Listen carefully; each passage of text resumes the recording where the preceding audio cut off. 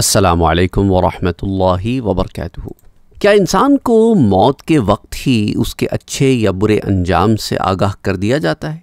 आपके साथ आज मैं तीन अहादीस मुबारक शेयर करने वाला हूँ। पहली हदीस मुबारक हज़रत अबू हुरैरा रदी अल्लाह तु इसके रावी हैं कि हुजूर अकरम सल्लल्लाहु अलैहि ने इरशाद फरमाया, फरिश्ते रूह कब्ज़ करने के लिए जब मरने वाले के पास आते हैं तो नेक और साले होने की सूरत में फरिश्ते कहते हैं ए पाक रूह, तू पाक जिसम में थी, अब तू जिसम से निकल आ। तू तारीफ़ के लायक है, अल्लाह की रहमत से खुश हो जा। तेरे लिए जन्नत की नेमतें हैं, तेरा रब तुझसे राज़ी है। फरिश्ते मरने वाले को मुसलसल ऐसे ही कहते रहते हैं, यहाँ तक कि रूह जिसम से निकल आती है। फिर जब रूह निकल आती है तो फरिश्ते इसे लेकर आसमान की तरफ़ चढ़ते हैं। आसमान के दरवाजे इसके लिए खोले जाते हैं और पूछा जाता है, ये कौन है? फरिश्ते जवाब देते हैं, ये फुला आदमी है। जवाब में कहा जाता है, इस पाक रूह के लिए खुश आमदीद है। दुनिया में ये पाक जिस्म में थी।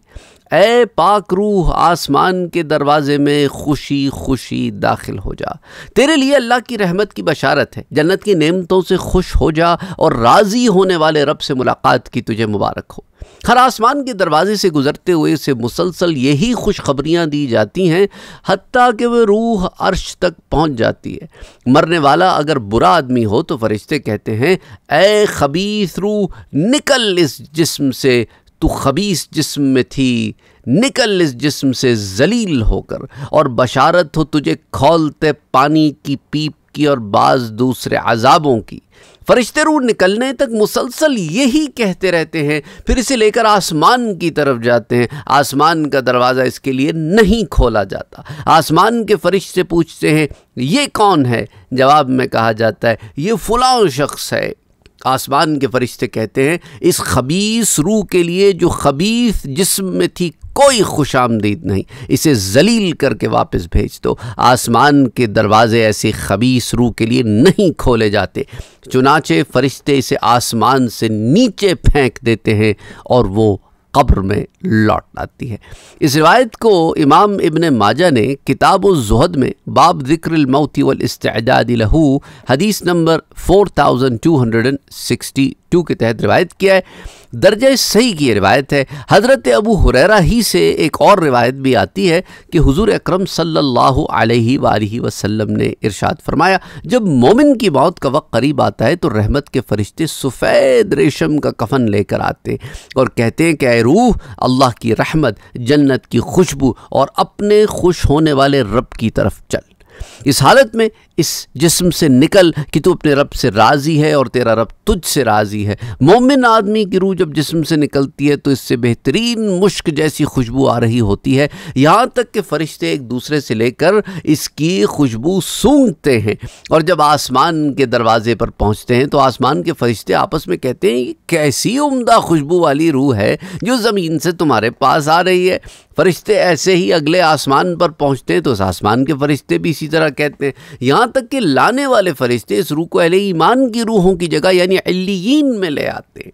जब वो रूह पहुँचती है तो पहले से मौजूद रूहों को इतनी ज़्यादा खुशी होती है, जितनी तुम में से एक को अपने भाई के मिलने पर हो सकती है। चुनाचे बाज़ रूहें नई आने वाली रूह से पूछती हैं, फुला आदमी किस हाल में है? फिर वो आपस में कहती हैं, इसे ज़रा छोड़ दो, आराम करने दो, ये दुनिया के मसायब व आलाम में मुबतला था। इसे सस्ताने दो। सस्ताने के बाद वो रूह जवाब देती है कि क्या वो रूह तुम्हारे पास नहीं आई? वो आदमी तो फौत हो चुका है जिसके बारे में तुम पूछते हो, जिस पर वो अफसोस से कहते हैं, वो अपनी माँ हाविया यानी जहन्नम में ले जाया गया है।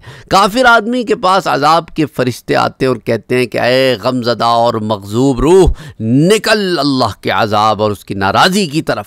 काफिर की रूह जब जिस्म से निकलती है तो इससे इस कदर गलीज बदबू आती है, जिस कदर किसी मुर्दार से गलीज बदबू आती है। फरिश्ते से लेकर ज़मीन के दरवाजे की तरफ़ आते हैं तो ज़मीन के दरवाजे के मुहाफ़ फरिश्ते कहते हैं, किस कदर गंदी बू है। ये जैसे ही फरिश्ते अगली ज़मीन के दरवाजे पर पहुँचते हैं तो इस ज़मीन के दरवाजे के मुहाफ़ फरिश्ते भी इसे ऐसे ही कहते हैं हती कि आदाब के फरिश्ते से कुफ़ार की रूहों के साथ सिज्जीन में लेके आते हैं। तो यहाँ इसे जो ज़मीन की तरफ़ पटखा जाता है तो इसे सिज्जीन की तरफ़ लेके जाया जाता है। सातों ज़मीनों से गुज़र के सिज्जीन में इसे दाखिल किया जाता है।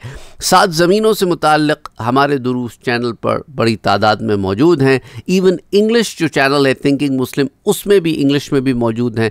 उर्दू में इस इस चैनल पर भी मौजूद है। बहरहाल, ये रिवायत मुस्तदरक इमाम हाकिम की मशहूर किताब हदीस की, उसमें किताबुल जनाइज़ में, बाब हल कब्द रोहमिन कब्द रोहल काफिर में हदीस नंबर, बल्कि पेज नंबर 352 353 पर वॉल्यूम वन में आती है, और इमाम दहाबी कहते हैं कि ये दर्जा सही की रिवायत है। अच्छा इसी तरह हज़रत अबू हुरैरा रज़ी अल्लाह तहु से ही एक और रिवायत आती है फरमाते हैं कि जब मोमिन की रूह निकलती है तो दो फरिश्ते से लेकर आसमान की तरफ़ जाते हैं। हदीस के रावी हम्माद कहते हैं कि सैदना अबू हुरैरा रदी अल्लाह तु ने रूह की खुशबू और मुश्क का ज़िक्र किया और कहा कि आसमान वाले फरिश्ते इस रूह की खुशबू पाकर कहते हैं, कोई पाक रूह है जो ज़मीन की तरफ़ से आई है। अल्लाह तुझ पर रहमत करे और इस जिस्म पर भी जिसे तूने आबाद कर रखा था। फिर फरिश्ते अपने रब के हजूर इस रूह को ले जाते हैं। अल्लाह फरमाता है, इसे क़यामत कायम होने तक एलियीन में पहुँचा दो। हदीस के रावी ने काफिर की रूह के निकलने का ज़िक्र करते हुए बताया कि हज़रत अबू हुरैरा रज़ी अल्लाह तु ने रूह की बदबू और इस पर फरिश्तों की लानत का ज़िक्र किया। आसमान के फरिश्ते कहते हैं, कोई नापाक रूह है जो ज़मीन की तरफ़ से आ रही है, फिर अल्लाह सुबहाना व ताली की तरफ़ से हुक्म होता है, इसे क़यामत कायम होने तक सिज्जीन में ले जाओ। सैदना अबू हुरैरा रज़ी अल्लाह तु कहते हैं कि जब हजूर सल्ला वसल्लम ने काफिर की रूह की बदबू का ज़िक्र फरमाया तो नफ़रत से अपनी चादर का दाम दामन इस तरह अपनी नाक पर रख लिया, फिर अपनी चादर नाक पर रख कर दिखाई कि हुजूर सल्लल्लाहु अलैहि वसल्लम ने कैसे रखा था। सही मुस्लिम की रिवायत किताबुल जन्नति व नईमिहा में हदीस number seven thousand two hundred and twenty one.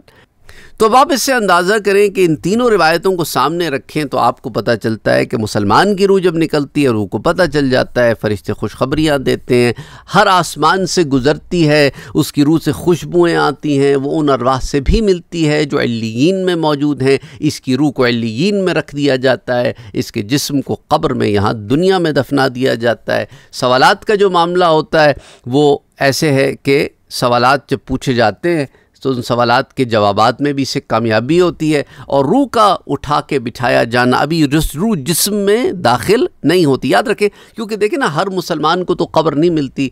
कोई धमाके से उड़ गया या कोई पानी में कोई जल के मर गया, कोई मुख्तलिफ़ तरीके से अमवात होती हैं, हर एक को कब्र नसीब नहीं होती तो इसका मतलब नहीं है कि सवाल जवाब नहीं होते तो कब्र से मुराद ये वो गढ़ा है बेसिकली जिसके अंदर आप जिसम को डालते हैं, लेकिन कब्र के सवाल से मुतल ये बात नहीं है कि सिर्फ़ ये गढ़े तक ही सवाल का होना महदूद है, जहाँ इंसान की ज़रूरत मौजूद है, वहाँ उसकी कब्र है। अगर दफन नहीं हो पाई तो भी वहीं उसकी कब्र है, और बरज़ख में भी उसकी एक कब्र है, जहाँ पे वो उसकी रूह रहती है। उस मुकाम को या अलीन में होगा या सिज्जीन में होगा। सिज्जीन में होगा यानी कि गुनहगार रूह काफिर की रूह। अच्छा अब ये जो काफिर की रूह को मुशरक की रूह को मुनाफिक की रूह को अब ये जो आसमानों में एंट्री नहीं मिल रही पहले आसमान से ही रिजेक्शन है और उसको उठा के ज़मीन पर जो फेंका जाना है तो का, काफिर का जिसम भी आपने कब्र में दफन कर दिया फॉर एग्ज़ाम्पल या जला दिया whatever is the case it doesn't matter अब ये जो ज़मीन पे इसकी रूह फेंक दी जाती है तो इसे फरिश्ते घसीट कर एक एक ज़मीन से नीचे लेके जाते सातवीं ज़मीन के बाद इसे सिज्जीन में कैद कर दिया जाता है और फिर वहाँ से ये जहन्नम पर सुबह शाम पेश की जाती है। अच्छा जैसे सूरा मोमिन जो है जिसके अंदर ये आता है कि फ़िरौन की आल के साथ जो मामला है कि अल्लाह सुबहाना व ताली ने फरमाया कि और आ, इन लोगों को आल फ़िरौन को हर सुबह शाम आग पर लेके आया जाता है और यही मामला रहेगा यहाँ तक कि क़्यामत कायम हो जाए और जिस दिन क़्यामत कायम होगी तो हुक्म होगा कि आल फ़िरौन को सख्त तरीन आदाब में डालो। वह यौम तकूम